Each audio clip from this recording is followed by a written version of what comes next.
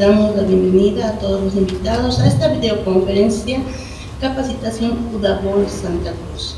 Queremos dar la bienvenida a la licenciada Ana Segarra, directora de Estadísticas e Indicadores Económicos y Sociales de Lima, al licenciado Miguel Cruz, director de Cuentas Nacionales, a Ramiro Sánchez, especialista en Estadísticas e Indicadores de Precios al Consumidor, a Patricia especialista en Estadísticas e Comercio Exterior, y también al licenciado José Antonio Montano, representante de la Universidad de continuación damos la bienvenida a la licenciada Ana Segarra para que pueda dar las respectivas palabras. Sí, muy buenos días a todos los estudiantes y al docente que está a cargo de esta delegación que nos eh, está visitando en la ciudad de La Paz.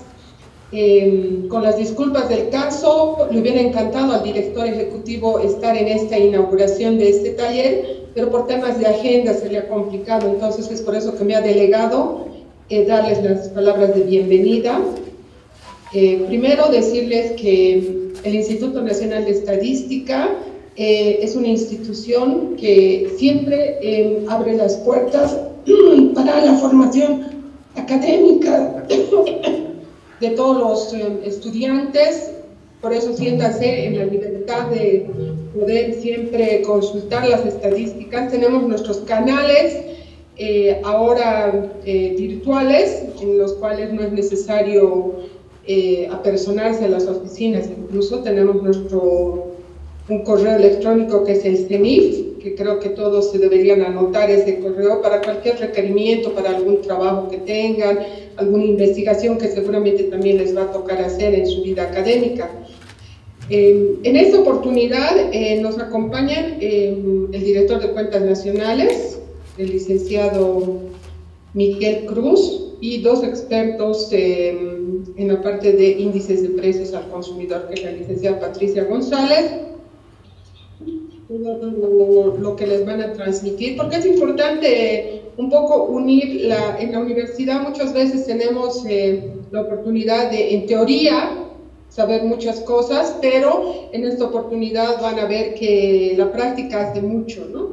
Entonces esperamos que todo el conocimiento que les transmitamos en esta sesión, con estos dos indicadores que son muy importantes, macroeconómicamente el, índice de precio al consumidor que mide la inflación y las cuentas nacionales, ustedes puedan un poco ya ir más allá de la teoría, ver en la práctica cómo se hace, ¿no? Y ver que es el trabajo que hace el Instituto Nacional de Estadística es un trabajo técnico, independiente, transparente, ¿no? Entonces, eh, eh, los dejo. Eh, con los expertos para seguir el programa y aprovechar al máximo el tiempo y espero que tengan una buena estadía también en la ciudad de La Paz. Gracias. Bueno, agradecemos las palabras de la licenciada Ana Segarra, directora de Estadísticas e Indicadores Económicos y Sociales. Bueno, a continuación damos paso a la exposición del licenciado Miguel Cruz, director de Cuentas Nacionales. Les expondrá la temática Producto Interno Bruto. Eh, muy buenos días a todos los eh, eh, participantes de la, de la docentes, plantel docente, estudiantes, hacerles conocer un poco de tratamiento que se realiza de las principales estadísticas del Instituto Nacional de Estadística. empezamos según el programa con el tema de las cuentas nacionales.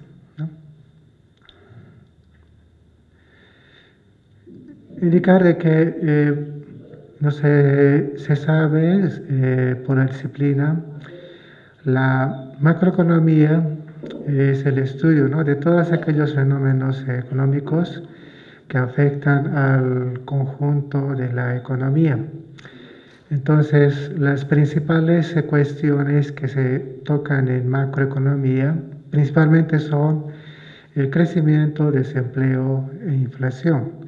El crecimiento tiene que ver con eh, el tratamiento de las cuentas eh, nacionales para, eh, para contar con los principales agregados macroeconómicos. Como antecedentes, indicar que la serie de años bases de las cuentas nacionales se inició el, el año prácticamente 1950, el año base de el año base del, eh, ese, lo realizó el Ministerio de Planeamiento y Coordinación y eh, ellos elaboraron una serie de, de, indicadores macroeconómicos y del PIB desde el año 1950 hasta el 68.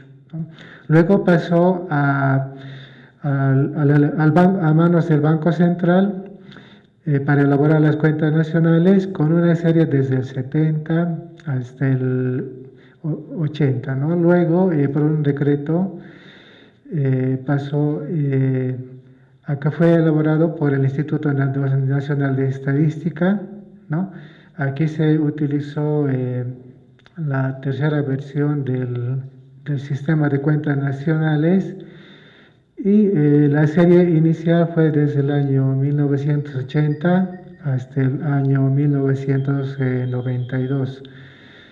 Eh, continuó la labor eh, el Instituto Nacional de Estadística con, una, con un año base, estableciendo un año base en el año 1990 y aquí se aplicó la, la, tercera, la cuarta y tercera versión del sistema de cuentas nacionales.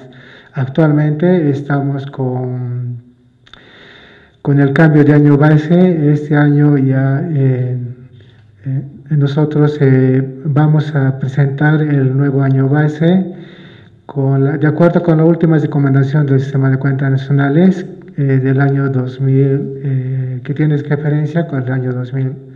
2008.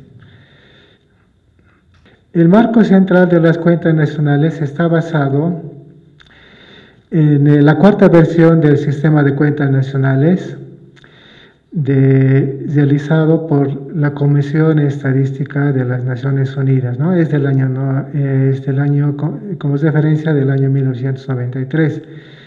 Pero la última versión del sistema de cuentas nacionales es el que corresponde al año 2008. También está realizado por la Comisión Estadística de las eh, Naciones, eh, Naciones Unidas.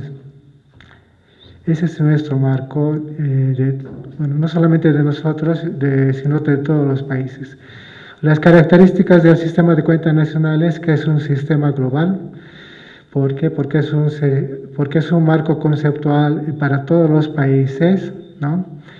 Es un sistema consistente porque maneja los mismas, las mismas normas, los mismos conceptos, definiciones, clasificaciones. Es un sistema armonizado porque es comparable con el, otros sistemas, como el sistema de la balanza de pagos. Actualmente el 2008 eh, tiene relación con la sexta versión del manual de la balanza de pagos lo mismo tiene relación con el manual de las finanzas públicas, eh, con las cuentas monetarias y bancarias. Es un sistema integrado porque eh, realiza, eh, realiza toda la integración de, las distintas cuentas que van desde la producción, pasando por ingreso, por la cuenta de capital y la cuenta financiera es relacionado con todos los balances en su sistema flexible porque de acuerdo a las características que tiene cada país, este manual se puede aplicar y, también en función de, de, las necesidades que tenga el país y de la disponibilidad de datos. Los propósitos del sistema de cuentas nacionales es que permite el análisis económico, de verdad se analizan los diversos agregados macroeconómicos de las actividades económicas, eh, por tanto, facilita la toma de decisiones, eh, tanto de la, de la toma de decisiones del sector público como del sector privado. Claro, y fundamenta la formulación de la, de la política económica, ¿no? Entonces, las decisiones de política económica eh, ayudan a establecerse la, la formulación de la, de la política económica. Son dos unidades que se investigan en el marco de las cuentas nacionales. Son, la, más conocida es el que eh, es el que se establece a través de establecimientos industrias. ¿no?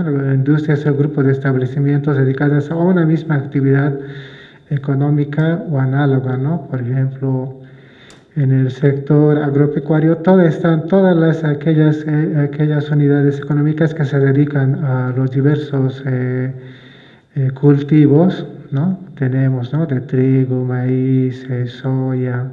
Entonces, todos esos, están, todos esos están agrupados en, en, lo que se llama industria, ¿no? Y en el sector de la extracción de la minería, también tenemos agrupados los establecimientos o industrias que eh, se dedican a la extracción, por ejemplo, de, la extracción de plata, plomo, zinc, concentrado, concentrado de estaño, el de cobre. Entonces, todos esos están agrupados en una sola industria, ¿no? Entonces, eso se llama industria, tanto, en bienes como, en servicios.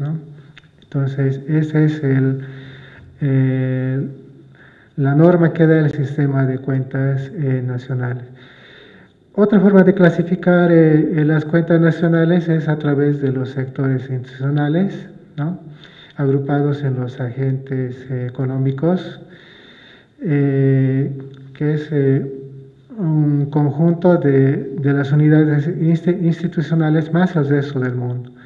Dentro de las unidades están las sociedades no financieras, todas las empresas constituidas en sociedad, las sociedades financieras, todas aquellas intermediarias de, financieras, van, todos los bancos, eh, todos los eh, se dedican a esta actividad, de, eh, a este tipo de actividad. ¿no? Está el gobierno general, las instituciones sin fines de lucro y los Es otra, otra forma de clasificar las unidades dentro del sistema de cuentas nacionales. Un principal indicador es el Producto Interno Bruto, es el valor de los bienes y servicios finales producidos en un determinado periodo, puede ser año o trimestre. Entonces, inicialmente como, como indicador macro tenemos a la producción valorada, tenemos un uso eh, de materias primas y, que, hace, que hace uso para esta producción, ¿no? Y eh, una, la diferencia es lo que, precisamente, lo que realmente genera, genera la actividad que está realizando esta producción. ¿no? Ese valor generado por la, por la producción, más, eh, más los gravámenes, eh, más los impuestos a los productos, el IVA, el, el IT, ¿no? eso es, nos da como como identidad el Producto Interno Bruto. ¿no? Entonces, eh, periódicamente el INE realiza la, la difusión de este indicador. Bueno, pues continuamos. Decíamos que eh, un agregado macroeconómico importante es el PIB. ¿no? El PIB es el valor de los bienes y servicios finales producidos en un periodo determinado. La medición eh, parte de la producción de la actividad. Eh, parte de esta producción es el uso de, materias primas y productos intermedios. Y hay una diferencia que es lo que realmente ha generado la actividad económica, que es el valor agregado bruto más los gravámenes, los eh, impuestos a los productos, el IVA, el IT, tenemos como eh, resultado el PIB. ¿no? Ese es el, esa es la definición del principal agregado. ¿no? vamos a hacer un resumen del proceso de síntesis de las cuentas nacionales. ¿no? Eh, tenemos un esquema de, todo lo que se hace en cuentas nacionales. El punto de partida es toda la información estadística disponible. Eh, luego se vincula a nuestras hojas de trabajo en cuentas nacionales con los clasificadores eh, internacionales y con los clasificadores que se elaboran en el, en el INE para cuentas nacionales. ¿no? Eh, eso define nuestras hojas de trabajo. Eh, define lo que se llama los equilibrios, los equilibrios en cuentas nacionales, los equilibrios de oferta-utilización. Hay un análisis de los vectores macro que se realiza eh, el análisis y luego esto da lugar al, al cuadro de oferta-utilización. Antes eh, se llamaba matriz de insumo-producto. Actualmente recibe el nombre de cuadro de oferta-utilización. Este proceso es iterativo porque en este cuadro de oferta-utilización se cruzan toda la información de todos los sectores económicos, actividades, y para que haya eh, consistencia entre ellos, son las compras y ventas que se realizan cada, eh, cada actividad económica de, sus diferentes productos. Entonces, ese es un proceso iterativo que vuelve a las hojas de trabajo para realizar eh, los respectivos ajustes, obtener nuevamente los equilibrios, analizar los vectores y eh, llegar otra vez al cuadro de oferta de utilización, ver si toda la información es consistente. ¿no? Una vez que este proceso iterativo termina, entonces, recién obtenemos los cuadros de salida principalmente del PIB, ¿no? Estos, eh, los que se difunden eh, ocasionalmente. La información, toda la, información de cuentas nacionales eh, depende de toda la información primaria que está considerada por los censos, los registros administrativos, las encuestas, la información secundaria, toda la información de estadísticas derivadas, los directorios, los directores, información complementaria con, con, por ejemplo, tiene que ver con el tema del contrabando, todos los estudios especializados, todo eso, información, con toda la información recién podemos eh, realizar eh, nuestras cuentas nacionales. Es un proceso exhaustivo de, de la revisión de toda la información estadística. Aquí podemos ver toda la información primaria, ¿no? los censos eh, que se realizan, los registros administrativos que vienen de las distintas empresas públicas, privadas, ministerios, ministerios, asociaciones, federaciones, ¿no? ahí están la CAO, la OTAI, la, la Cámara Nacional de Industrias y, y otras asociaciones que realizan el acopio de información entidades públicas como eh, el Servicio de Impuestos, la aduana, la ASFI, eh, información de distintas unidades de operación información territorial, de las, de las entidades, organizaciones sin fines de lucro, gobiernos municipales, gobernaciones y otros registros administrativos. Por, se, realiza, se realiza también eh, la copia de de toda la información de, las encuestas agropecuarias, de hogares, de gastos de realización, encuesta a la industria manufacturera, eh, otro tipo de encuestas que sirve para, los propósitos eh, de las cuentas nacionales, toda la información básica. Estas ya son eh, información secundaria, precios y cotizaciones por producto, los índices de, de extracción de hidrocarburos, de extracción minera, los indicadores de la industria manufacturera, eh, precios al productor, precios al, al, consumidor, los índices de consumo, energía eléctrica, gas y agua, tarifas de consumo, eh, el índice de costo de la construcción, índice de cantidad de transporte, precio aéreo, gasetero, productos, eh, el indicador de telecomunicaciones, los índices de servicios financieros, balanza de pagos y otros. ¿no? Y hay otros tipos de, de, información, los indicadores de comercio exterior, los, los indicadores de, de, de, turismo, directorios, clasificadores. Los clasificadores con los cuales están vinculados los clasificadores de cuentas nacionales de cada país es el CIU, es, es manejado internacionalmente y el clasificador central de productos. Uno es para establecimientos y el otro es para productos. Eh, tenemos eh, información eh, por Nandina, tenemos una plantilla de bienestar capital, las encuestas de márgenes, de construcción privada, y bueno, y otro, y el de multitemático de servicios que se realiza ¿no? muy frecuentemente. ¿no? Eh, especializados, como les comentaba, el tema, por ejemplo, del contrabando, hay revisión de estructuras de costos eh, para los, nuestros coeficientes técnicos, las cadenas de transformación, las, ahí están las relaciones entre las distintas actividades económicas, estudios a la minería chica y cooperativas, lo de la hoja de coca, la tabla de incorporación de obras que sirve para la actividad de construcción, la actualización del calendario agrícola, aquí el efecto niño y niña, el efecto climatológico ya alterado el calendario agrícola, eso tenemos, se tiene que revisar en, eh, en el año.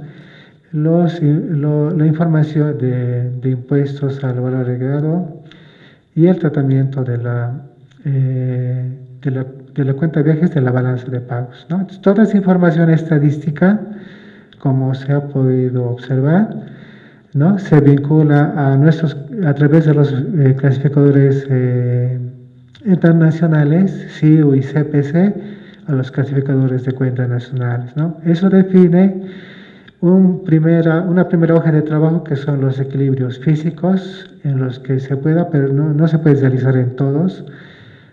Aquí vemos más claramente, ¿no? Esta es nuestra principal eh, hoja de trabajo.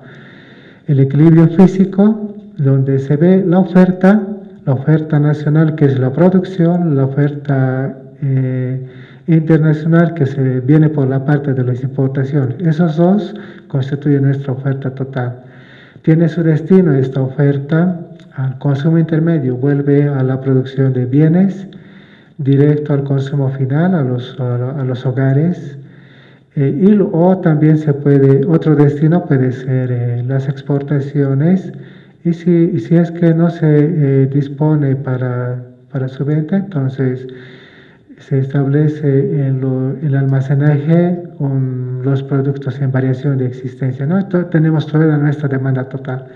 Esto tiene que cuadrar la oferta total igual a la demanda total. ¿no? Se valora este equilibrio físico y, da lugar a lo que son los balances de oferta y utilización. Aquí, en la valoración, eh, e, en el destino, consumo intermedio, consumo final, formación bruta de capital, variación de extensas y eh, exportaciones, eh, están a precios de, compradores, es decir, a, los que uno puede comprar.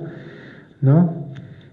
Ah, en el otro lado de la oferta, el valor bruto de producción, cuando se valora, tiene que estar a precios eh, básicos, eh, puesto de que, eh, bueno, y las, y las, importaciones tienen que estar valores CIF. para que llegue a este mercado hay, hay en el caso de las importaciones, los gravámenes que se han realizado, los productos que han ingresado, impuestos que se han, que se han, eh, se han grabado a los eh, distintos productos ¿no?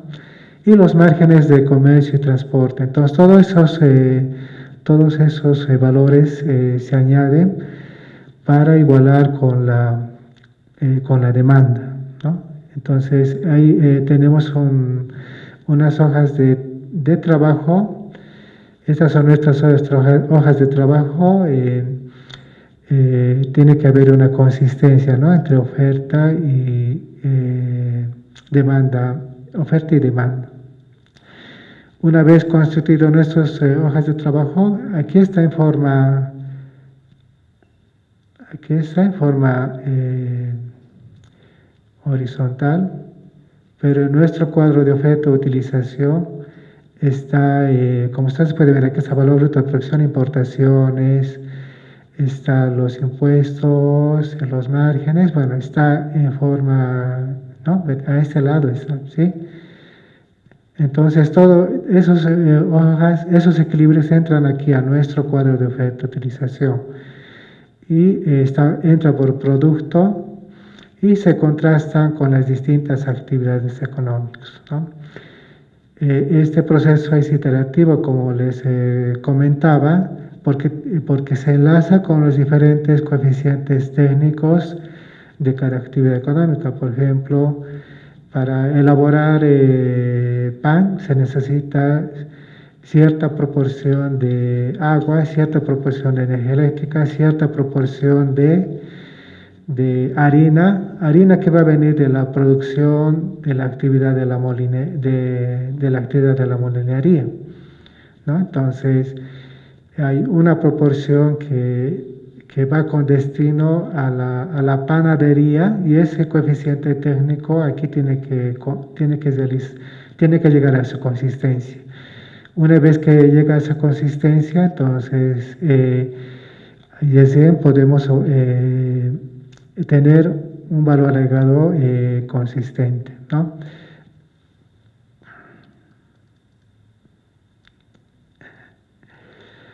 Bien, entonces dentro de ese proceso eh, nosotros tenemos eh, que podemos calcular el PIB por los tres métodos, el PIB por el lado de la producción, como en la definición lo mencionábamos, el valor bruto de producción, deducimos el consumo intermedio, tenemos el valor agregado bruto, más los impuestos menos las subvenciones, tenemos el, PIB. ¿no? Es una forma de, realizar la medición. Otra forma de realizar la medición es por el lado del gasto. Eh, eh, aquí se añade el consumo final, la formación bruta de capital, las exportaciones se deducen las importaciones y tenemos ahí una mención de Producto Interno Bruto. Hay otro método que todavía eh, no, estamos realizando, solamente lo estimamos, es por el lado del ingreso, que tiene que ver eh, con el, pago que se ha hecho a, los empleados, que corresponde a la remuneración, todos los impuestos sobre la producción y sobre las importaciones, y más el excedente bruto de explotación y bueno, y hay otra, hay otra versión también, ingreso mixto, que hace el, el Producto Interno Bruto. Entonces son los tres métodos. Los más conocidos son eh, por el lado de la producción y por el lado del, eh, del gasto.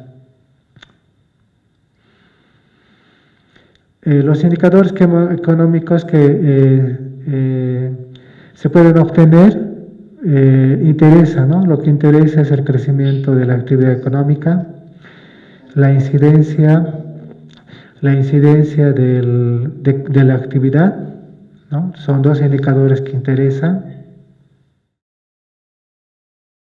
El deflactor implícito y otro indicador muy importante es eh, la obtención del Producto Interno Bruto per cápita, ¿no? Eh, resultados. Todavía tenemos eh, como resultados eh, lo que está difundido en nuestra página web, el crecimiento al primer semestre del 2020, con una variación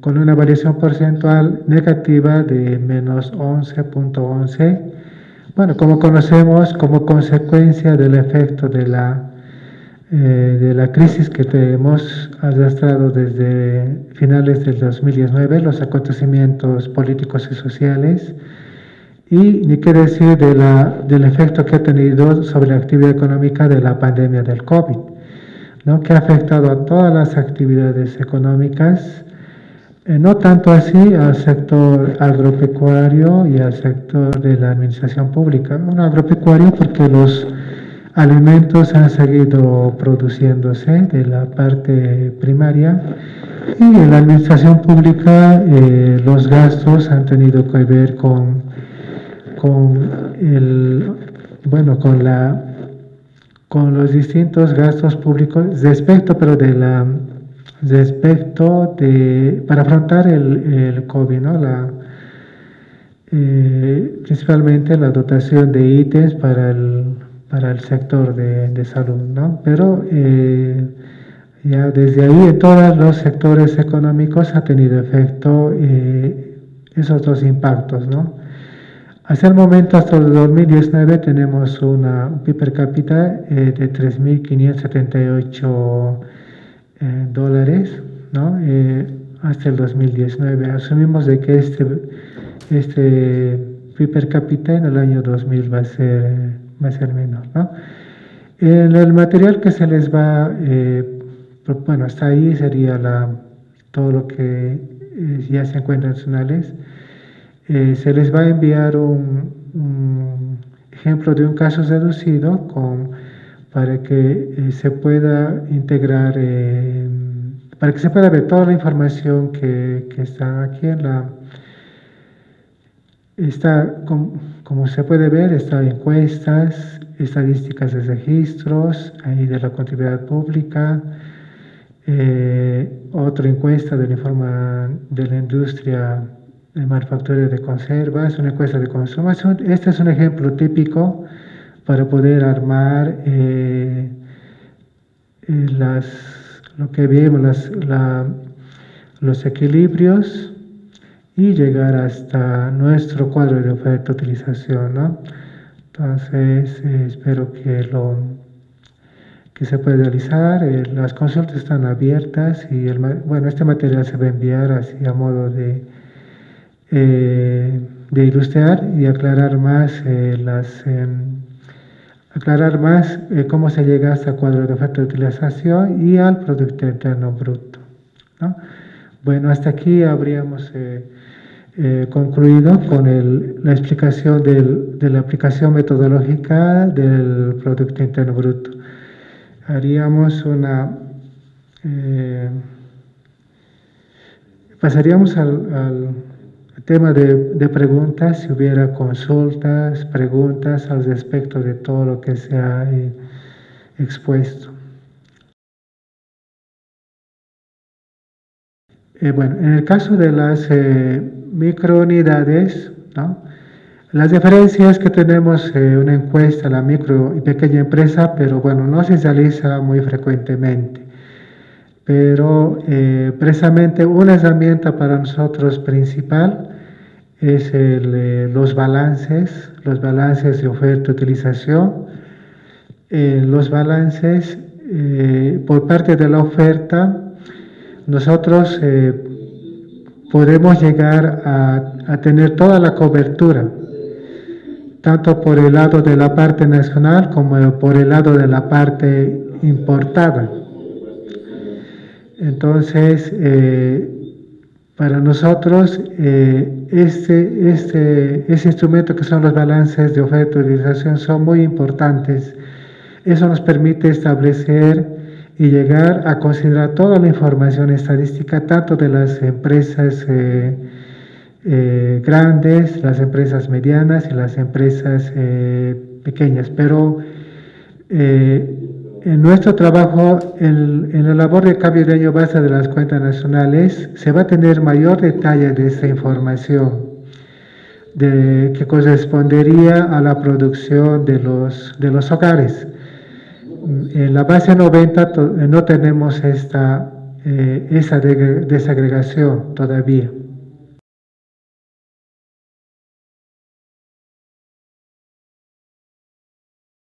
Eh, sí, sí se podría, pero bueno, no es eh, tuición tanto del Instituto de Estadística.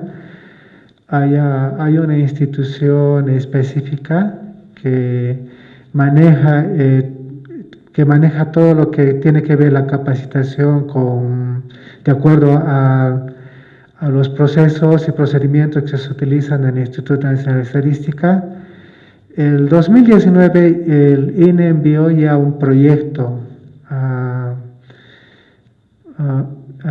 la parte de, eh, encargada del gobierno. Al EGPP se envió un proyecto. Eh, creemos que eh, no se, bueno, creemos que se ha considerado, pero bueno, es muy bueno que que, haga la pregunta porque vamos a ver eh, cómo está ese, ese, tema, porque lo que, se, lo, que sabemos es que se aprobó y estaba ahí como, como un diplomado, como un diplomado el tema de, de toda eh, de todo el tema de estadístico que realiza el INE. Entonces, vamos a retomar nuevamente eh, con la IGPP, vamos a retomar ese, ese tema, pero de hecho el INE ya envió una propuesta formal a la IGPP. Muchas gracias, muchas gracias a la universidad. Eh, bien, buenos días. Al comenzar quisiera que podamos ver la imagen. ¿Dónde realizan sus compras? ¿Dónde se abastecen? Se abastecen en supermercados, en mercados o ferias, en ferias que son de repente un poquito eh, puntuales nada más, las ferias del precio justo, mercados populares, donde compran su ropa, donde compran sus alimentos. El índice de precios al consumidor abarca todo este movimiento de compras que realizan los hogares. Cuando nos referimos a las compras que realizan los hogares, nos estamos refiriendo a cada uno de ustedes, sean hijos, sean papás, eh, sean abuelitos, sean niños, todos. El hogar está compuesto por varias personas, ¿no? por una o más personas.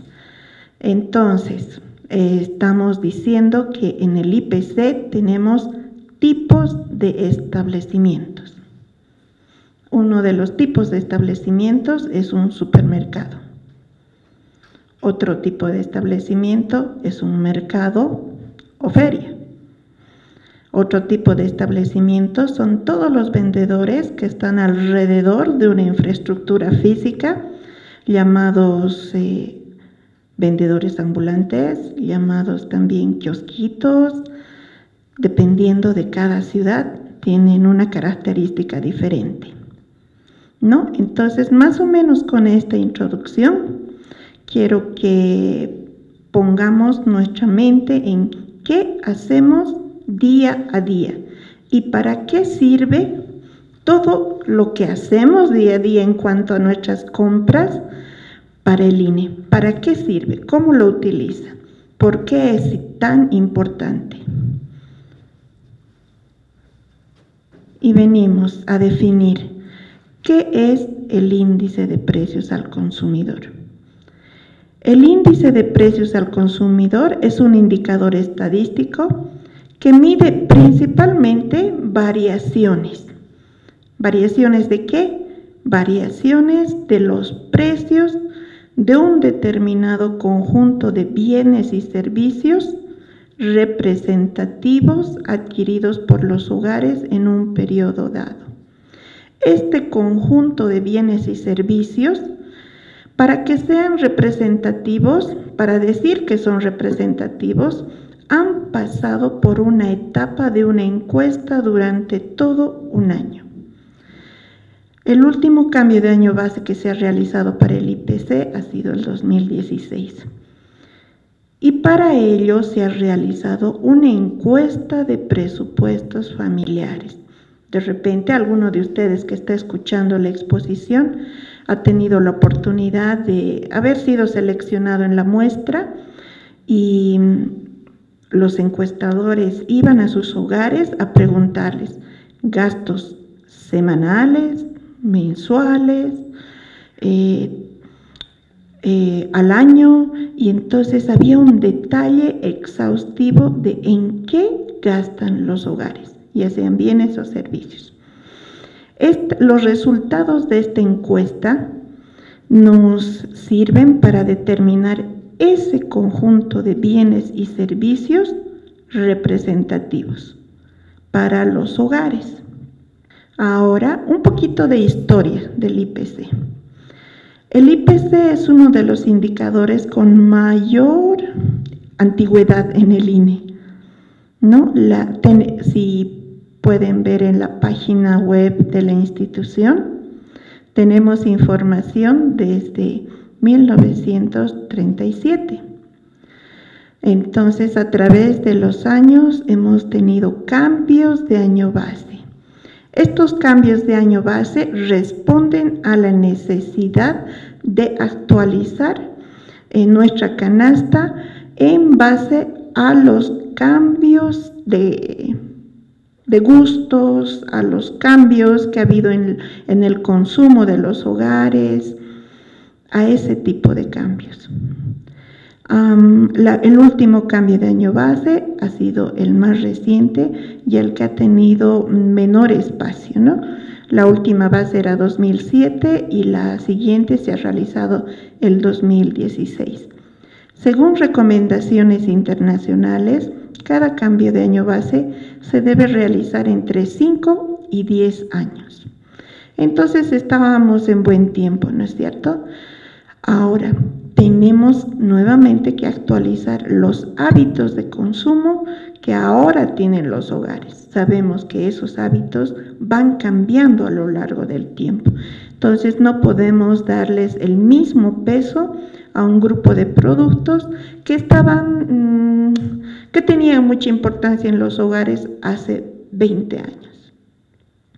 Esa es la importancia de poder realizar un cambio de año base. Ahora, vayámonos con los objetivos. ¿Para qué nos sirve un IPC? Nos sirve para medir la evolución de los precios mensuales de esa canasta o grupo de bienes y servicios que hemos seleccionado y que es representativa de los hábitos de consumo de los hogares o población de referencia. Otro de los objetivos es suministrar información que permita deflactar valores nominales. Aquí está la importancia como insumo principal para las cuentas nacionales. Suministrar información que permita análisis de coyuntura. Nuevamente, como ya habíamos visto en la primera parte, el sistema de cuentas nacionales es un sistema que integra absolutamente toda la información que se genera. Por lo tanto, es una herramienta útil para el análisis en la coyuntura. Ahora eh, quisiéramos contarles un poquito de cómo se realiza el trabajo día a día en el IPC, de una forma muy esquemática y reducida, eh, porque este es un trabajo de día a día. El IPC se realiza los 365 días del año. No hay interrupción. No hay feriados, no hay fines de semana. ¿Por qué? Porque este indicador tiene que responder a lo que está ocurriendo en el momento con los precios. Y para esto le voy a pasar a Ramiro, Ramiro Sánchez, un poquito para detallar el flujo de los procesos. Bueno, buenos días. Bueno, vamos a explicar todo lo que es el proceso de este previa a la captura de información, durante la captura de información y después de la captura de información. Entonces, ¿qué hacemos? Para obtener esta información que eh, en los determinados lugares de establecimientos, como se mostró en las primeras diapositivas, que teníamos ahí mercados, ferias, supermercados, contamos con un equipo de trabajo especializado en cada una de las ciudades del país, en cada una de las ciudades capitales del país, en la cual, en primera instancia, ¿qué se realiza? Se hace una asignación de cargas de trabajo a cada una de las personas que van a recabar esta información estos cotizadores, al tener ya esta carga de trabajo, empiezan a organizar su recorrido, por un lado, dónde van a empezar y dónde van a terminar. Este trabajo se lo hace, como lo dijo la licenciada González, se lo hace de forma diaria, de lunes a sábado y, todo, y durante todo el mes. Una vez ya conformado el recorrido de trabajo, ya también se tiene que identificar qué productos van a ser capturados en esos establecimientos. Entonces, por lo tanto, empieza ya el operativo de campo, ¿ya? Y en primera instancia, ¿qué hace el cotizador? Tiene que identificar el establecimiento donde va a realizar esta captura, es decir, para obtener un buen precio, para obtener una buena variación de precios o un análisis de precios, debemos identificar principalmente al establecimiento y al producto. En dos periodos distintos, el establecimiento debe ser el mismo y el producto también debe ser el mismo con sus características respectivas. No es lo mismo cotizar en un periodo, por decir un ejemplo, que tengamos, yo qué sé, papa holandesa y al otro periodo para poder comparar si hubo incremento o no incremento de precios, cotizar papa negra. Entonces, no son estos dos productos, no son comparables. Para que sean comparables y tener un buen análisis de la información, deberíamos tener en un periodo cotizar papa holandesa y en el siguiente periodo también volver a cotizar papa holandesa y por otro lado también identificar al mismo establecimiento.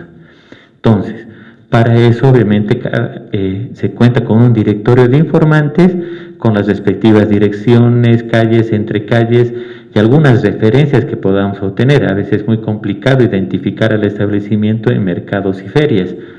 Ya es mucho más fácil identificar tal vez una tienda de abarrotes, un almacén, una farmacia, una sastrería, una peluquería, etc. Pero a veces en los mercados tenemos que tener puntos de referencia. Una vez ya identificado la, el establecimiento y el producto con todas sus características detalladas, empezamos a capturar la información.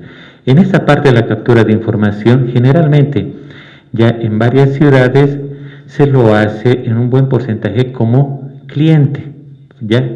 ¿Cómo decimos esto? Porque van la forma de hacer la forma de eh, intentar comprar ese producto para obtener realmente el precio real. En otros establecimientos también se va como institución del INE, identificando su credencial, su carnet, etcétera, y, pidiendo la colaboración al, al dueño, al informante de ese establecimiento. Posteriormente se hace la consolidación de la información. ¿Ya? Ahora, durante, siguiendo durante el operativo pueden existir algunos, algunos problemas ¿no? en la cual el establecimiento ya no tenga el producto, ya no tenga el producto o el establecimiento haya cambiado de rubro. En esos casos nosotros realizamos eh, lo que llamamos reemplazo de establecimiento, como lo podemos ver en donde ponen en la, pantalla el flujo de procesos en la parte central, donde dicen eh, con reemplazo o sin reemplazo. Si no hubiera ningún reemplazo en la parte de la captura de información, entonces, ¿qué hacemos?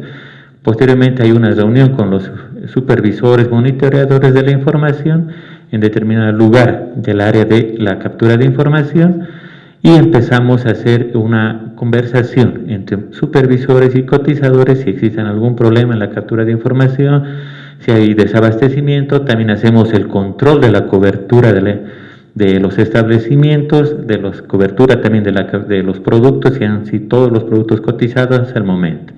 Si no hubiera ninguna de estas de esta parte, el supervisor también va seleccionando los productos o los establecimientos donde han presentado algún movimiento de precios para que también este equipo de supervisores pueda eh, verificar esta información. ¿Ya? Una vez de eso, que ya está verificada la información, todo eso entonces se procese ya al siguiente paso que ya es la, el cálculo del indicador. Ya previamente a esto, toda la información a nivel de cada una de las ciudades pasa a la central, a un equipo nacional que hace también de nuevo una revisión general de toda la información de todos los productos ya a nivel nacional y empiezan este, eh, a validar, a consistenciar y si hubiera alguna duda vuelven a preguntar ya sea los responsables de cada una de las ciudades, supervisores y hasta los cotizadores.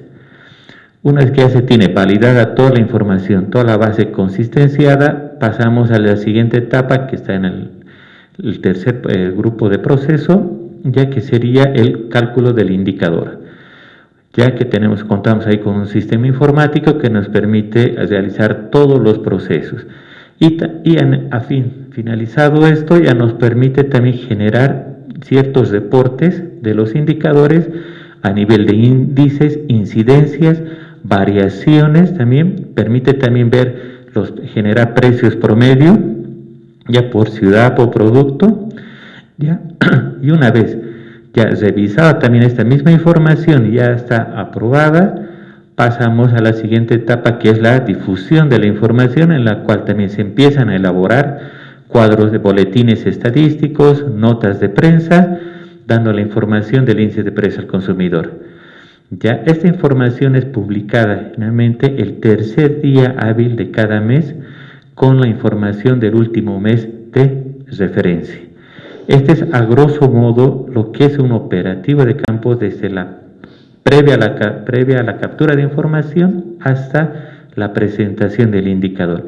Y esto se hace constantemente todos los meses. En esta parte que podemos ver que hablamos de la cobertura, tenemos acá la ampliación de la cobertura geográfica. Como bien se dijo anteriormente, los antecedentes del IPC ya cada año van cambiando. Por un lado, se van actualizando los hábitos de consumo, pero también se van ampliando eh, los espacios, los mercados, las ferias a otros sectores o conurbaciones de las ciudades. Por ejemplo, en el cambio de año base del 2007 solo teníamos a las ciudades capitales de cada del país. Por ejemplo, en el eje troncal teníamos La Paz, en Cochabamba el municipio de Cercado, en Santa Cruz la el eh, municipio de Santa Cruz.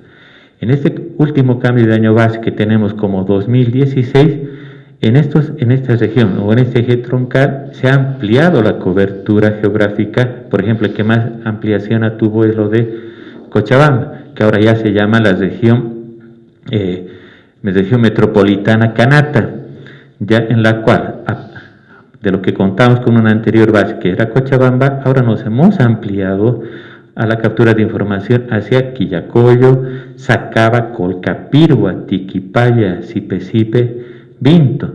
Santa Cruz se ha ampliado también a lo que es La Guardia, Cotoca, Guarnes, entonces, es decir, tenemos un IPC de Santa Cruz que cubre toda esta región, a la que hemos llamado conurbación de Santa Cruz.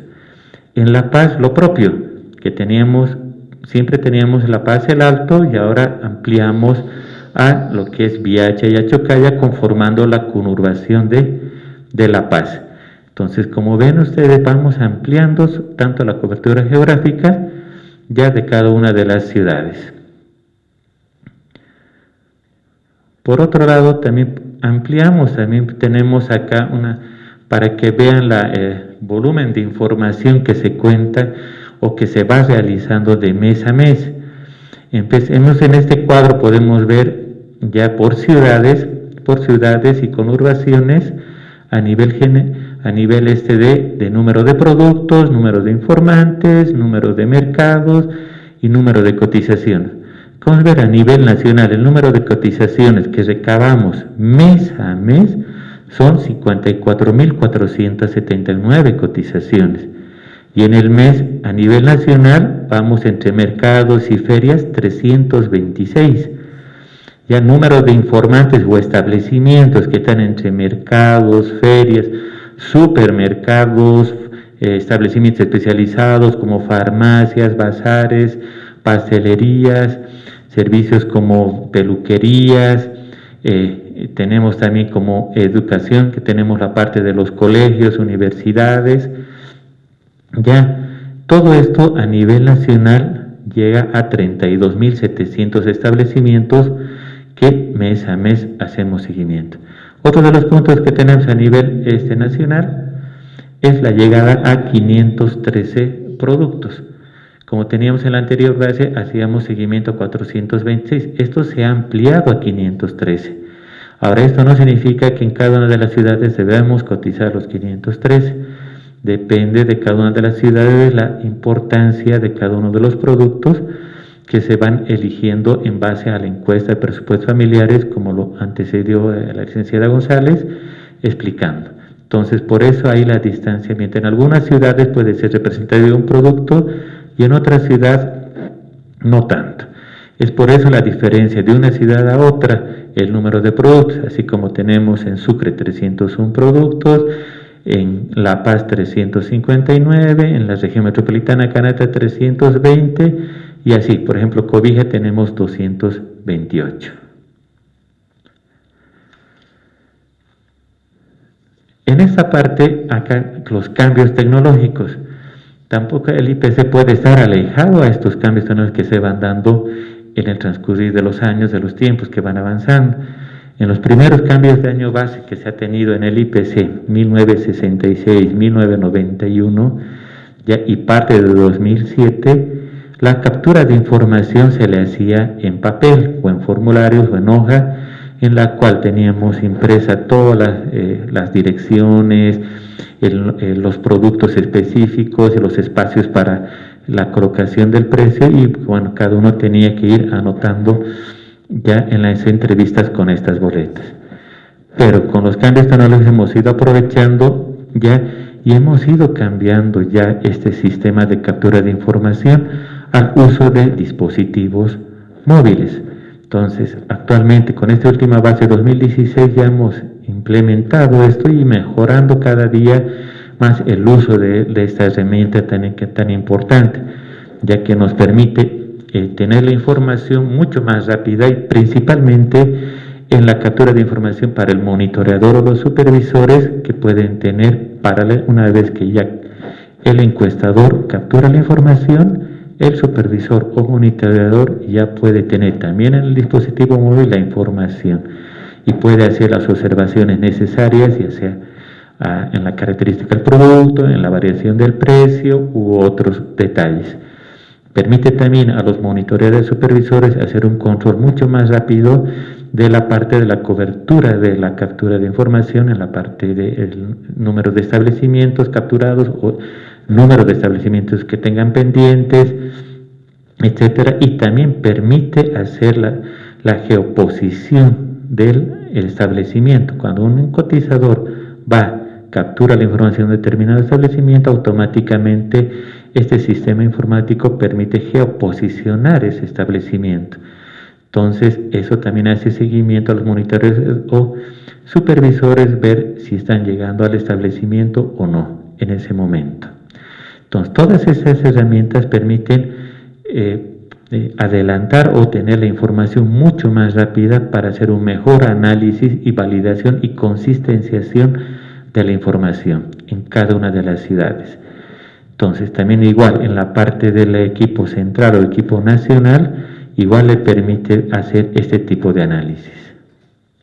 Ahora, hasta este momento ya hemos explicado de forma resumida lo que es la parte de todo el proceso de el que es un IPC, ya un índice de precio al consumidor, como yo siempre digo, es uno de los indicadores más utilizados pero menos conocidos ya en la elaboración de esto. Entonces ustedes han visto en estas diapositivas cómo se hace la captura de información, cómo se hace la verificación, cómo se hace hasta llegar al cálculo del dato. Una vez que ya se tiene todos los datos y aprobado por nuestras autoridades de la institución, pasa al proceso de la difusión de los resultados.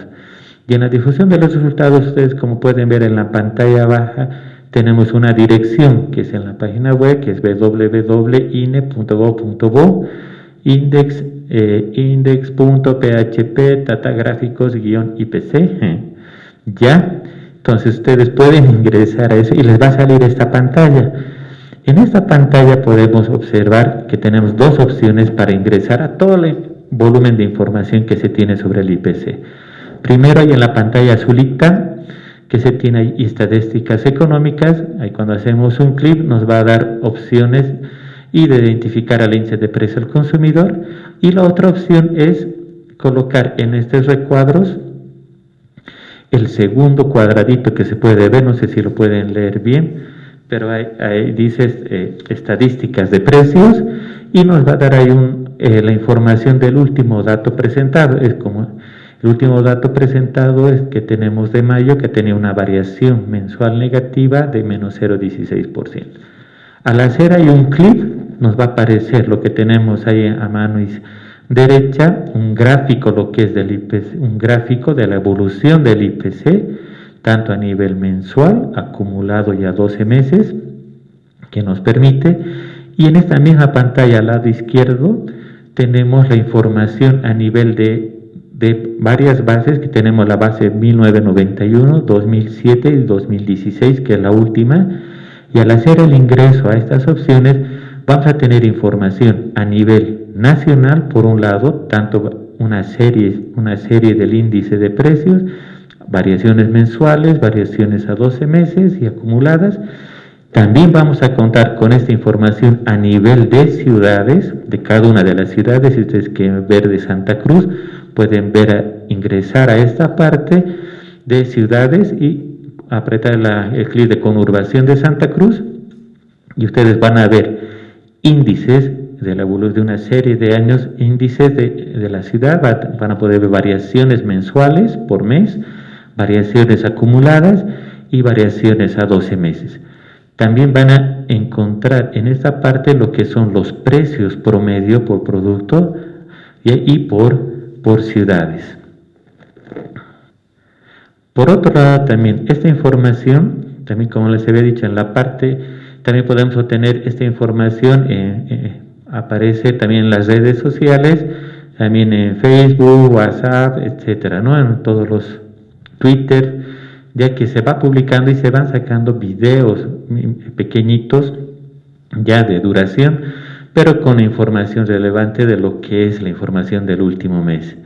En la parte izquierda de la pantalla podemos observar también allí lo que son lo que es la, un resumen o las notas de prensa en lo que obtenemos información a nivel de variación mensual a 12 meses acumulada a nivel Bolivia y un gráfico en la parte, en la parte inferior.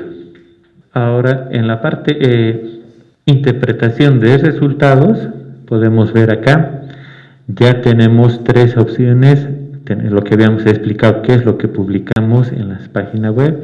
Tenemos la variación mensual, que es la primera flechita pequeña, en la cual nos dice variación de un mes respecto al, anterior, lo que comúnmente nosotros conocemos como la inflación, y diríamos que en el mes de mayo había una inflación de 0.16%, y vemos ahí los siguientes eh, índices desde enero, que era 0.47, tenemos una variación muy alta, 0.18 en, en febrero, menos 0.12 en, en marzo, en abril menos 0.06 y 0.16%.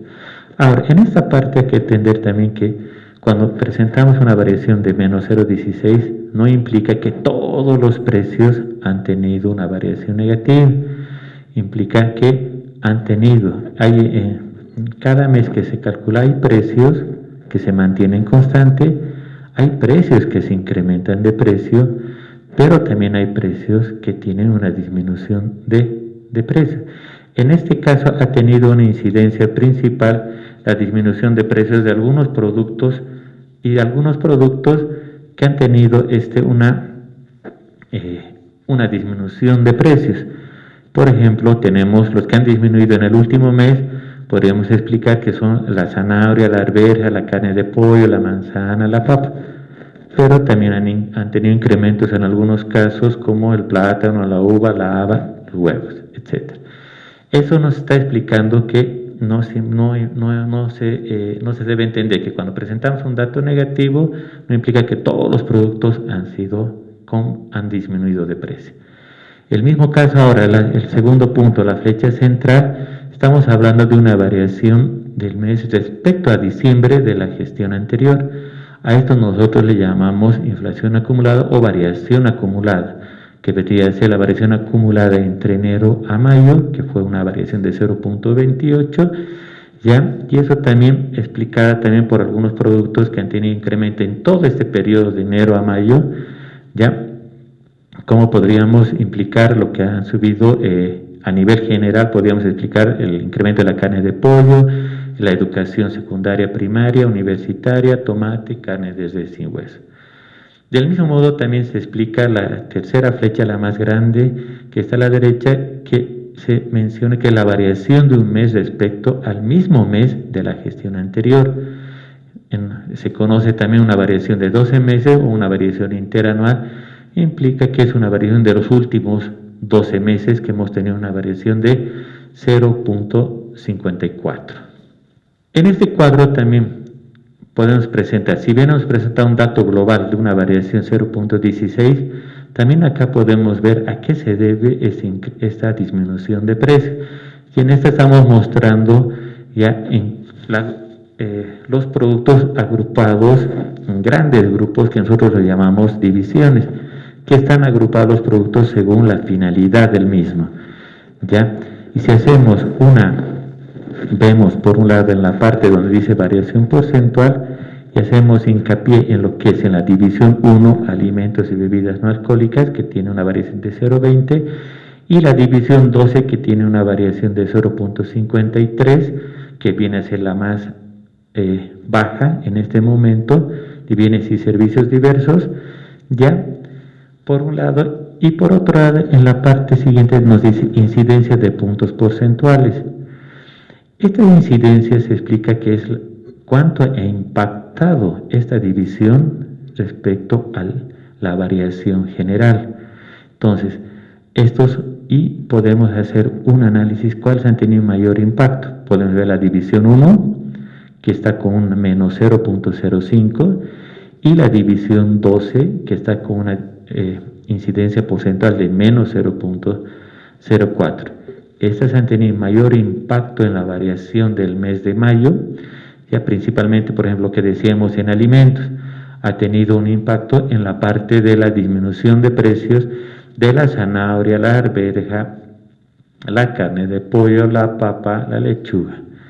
Y en los bienes y servicios diversos, los que han tenido mayor incidencia en los productos dentro de esta división han sido los pañales, papel higiénico, el corte de cabello y los desodorantes. ¿ya? Entonces, de esta forma vamos interpretando la información que tenemos para poder obtener eh, la variación de menos 0.16%. Bueno, hasta acá llegaríamos con lo que es la explicación del índice de precios al consumidor, que hemos tratado de, en el tiempo que nos ha tocado, poder explicar todo lo que es el índice de precios al consumidor. Solo esperaríamos a ver si tienen algunas preguntas, consultas, sugerencias, etcétera. Gracias. ¿Por qué ya no se ve la estructura de ponderación por tipo de producto y por ciudad en el IPC? Eh, quisiera que vayan un ratito a la página web del INE. Y como Ramiro ya dijo, tenemos dos maneras de entrar a toda la información disponible del IPC y otra a través de estadísticas económicas en el menú en barra azul, donde encontramos la opción de índice de precios al consumidor. Vayámonos por lo más rápido, estadísticas de precios.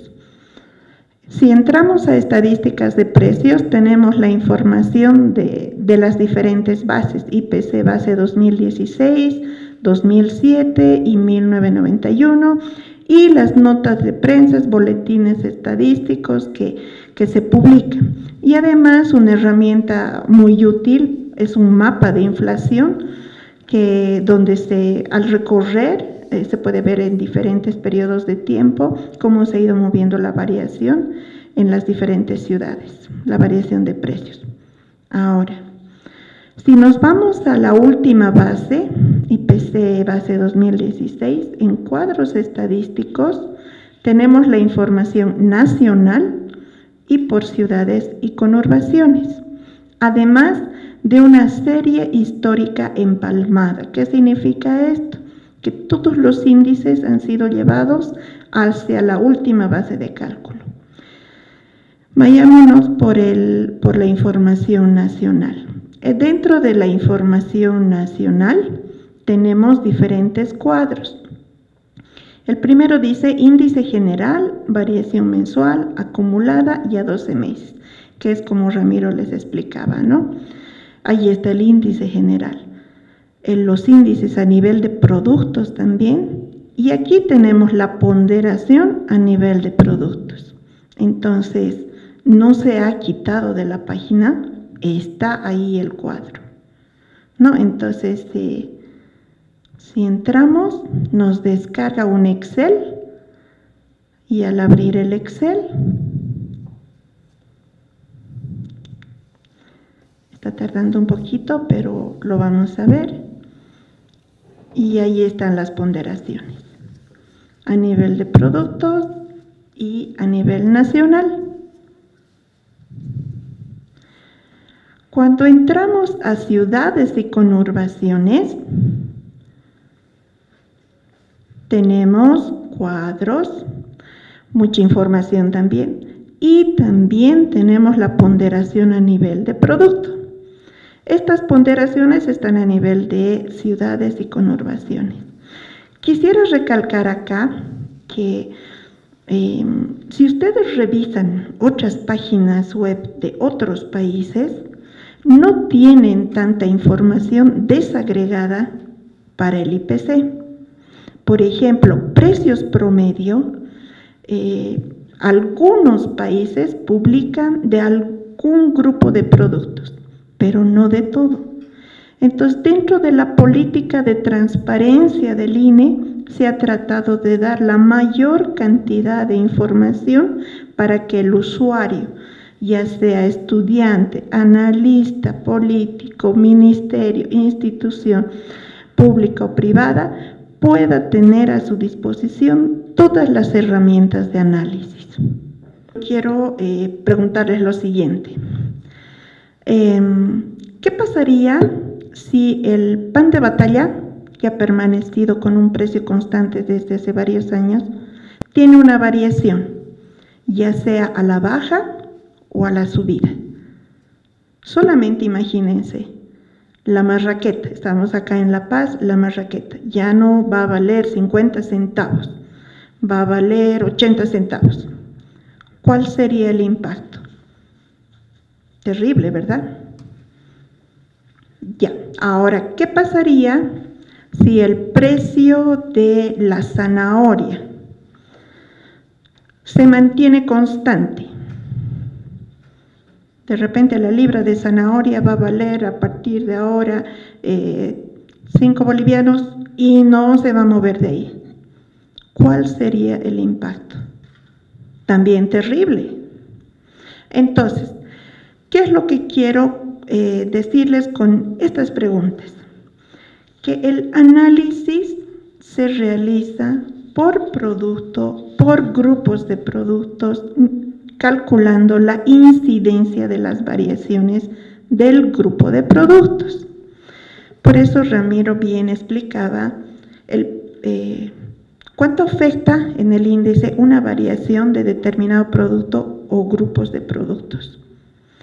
Cuando decimos no están variando mucho, primero tenemos que analizar qué productos son los que no están variando mucho y sí es favorable que no varíen mucho.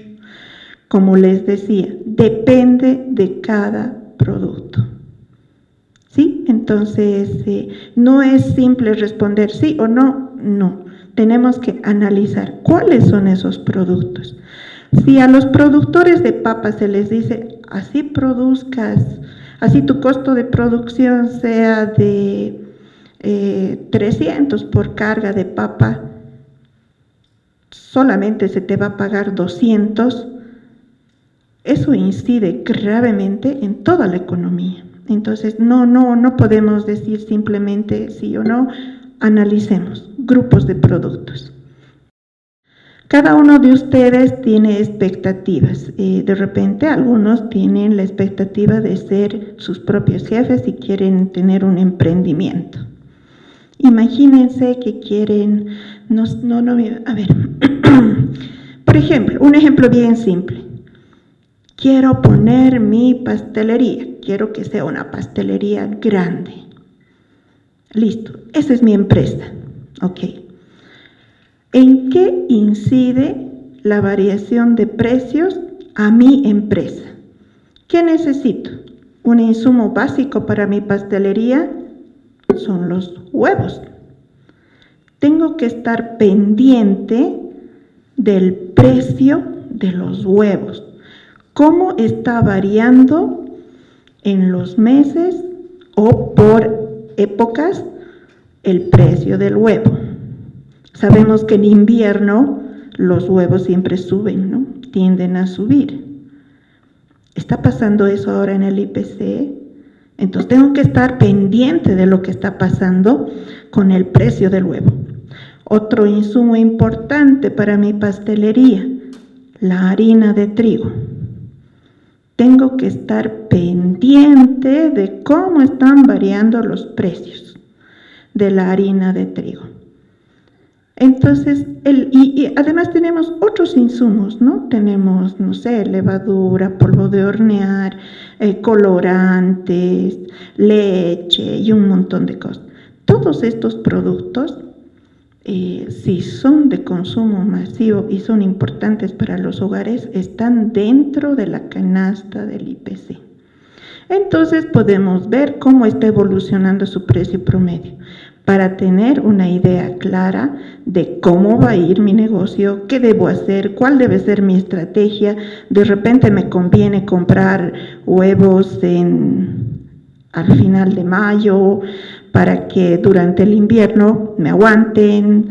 Tengo que ver, ¿realmente aguantan los huevos tres meses? Entonces, todo ese tipo de análisis corresponde a una empresa. ¿No? Entonces, por eso es importante, ya sea para una pequeña empresa o una gran empresa, el conocer la evolución de los precios. Bueno, a continuación quiero dar paso al licenciado José Antonio Montaño. No sé si me están, si me están viendo. Sí, se está viendo. Sí, sí, se está viendo. Bueno, quiero realmente agradecerles mucho por esta presentación que nos han dado los estudiantes acá de la, de la agradecerle muy, muy, de forma muy particular, en primer lugar a la licenciada Ruth Romero, porque se mostró al comienzo muy abierta para que podamos este, hacer esto debido a las restricciones que hay, ustedes saben, por el COVID. También al director del INE, también por su apertura, y a nuestros brillantes expositores. Realmente este, ha superado las expectativas que nosotros teníamos y Solo tengo palabras de gratitud para ustedes, los estudiantes están muy, muy contentos con, con esta exposición. Le agradecería también si les es posible pasarnos el, el, PowerPoint que han utilizado para que nuestros estudiantes tengan acceso a este material. Y si lo filmaron, también le agradecería que nos pasen el archivo. Muchas gracias, muy agradecidos y, y vamos a estar siempre pendientes de las capacitaciones que pueda hacer el INE. Muy gentiles. Muchas gracias, licenciado. Eh, también debes reconocer que se ha hecho la entrega de algunos souvenirs de parte del INE y agradecer a todos los estudiantes de la Universidad Udabol para, por haber asistido a este evento y agradecemos también a nuestros expositores. Y bueno, eso, eso sería, ¿no? Muchas gracias por la participación. Muchas gracias.